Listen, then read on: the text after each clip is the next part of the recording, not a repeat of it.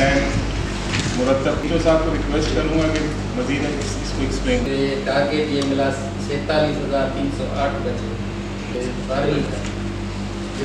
और higher secondary उसके लिए हमें जो है इस चीज़ की ज़रूरत पड़ी कि हेल्प के बगैर ये काम हम नहीं कर सकते। हमें से एक मीटिंग करें। प्राइवेट और गवर्नमेंट कॉपरेशन चाहिए एजुकेशन डिपार्टमेंट से।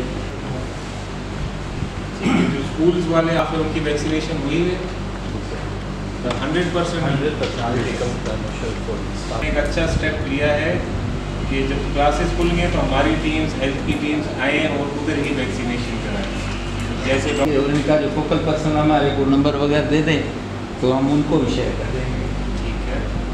उस पर आप लोग अपनी कन्फ्यूज़न आप पूछ सकें और ये ऐसा कुछ कन्फ्यूज़न आपको होंगी कुछ पेरेंट्स को होंगी और कुछ ठीक है तो सारे इधर मतलब माशाल्लाह पढ़े लिखे लोग हैं। कोई क्वेश्चन हो जो आपका तालका सुपरवाइजर आप उनसे डायरेक्ट पूछ लें वो आगे सबको एक्सप्लेन दें। है है है? ठीक है। तो आपका जो लिस्ट नहीं किया प्रिंसिपल की वैसे उधर बी एड ऑनर्स का कोर्स भी चल रहा है उधर हमारा एक हाई स्कूल है जिसमें चार साढ़े चार सौ बच्चे है और एक प्राइमरी स्कूल भी उसके बाद स्टार्ट करेंगे।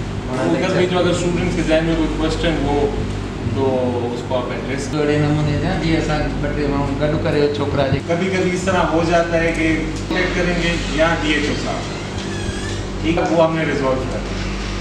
जो प्राइवेट स्कूल्स वाले हैं वो डायरेक्ट मुझे कॉन्टेक्ट कर सकते हैं। ठीक है? आपस में किसी ने नहीं बहस करनी अगर